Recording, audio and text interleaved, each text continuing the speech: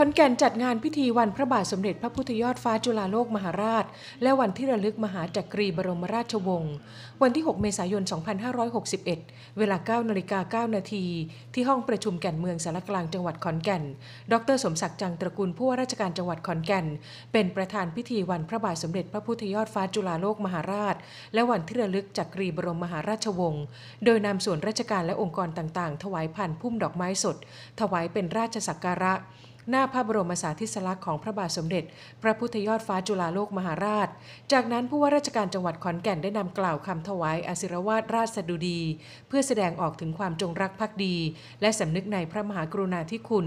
ต่อสถาบันพระมหากษัตริย์ ระลึกถึงพระมหากรุณาธิคุณ ที่ทรงบำเพ็ญพระราชกรณียกิจ นานาประโยชน์ต่อชาติ บ้านเมือง ทรงเป็นพระมหากษัตริย์ที่มีพระอัจฉริยภาพ ไม่ว่าจะเป็นด้านการสงคราม ศาสนา การปกครอง และด้านศิลปะวัฒนธรรม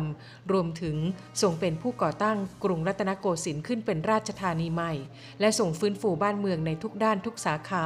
โดยมีคณะสงฆ์จากวัดต่างๆ 10 รูป สวดเจริญพระพุทธมนต์ชัยมงคล งานพิธีในวันนี้มีข้าราชการพ่อค้าประชาชน ชาวขอนแก่นมาร่วมงานจำนวนมาก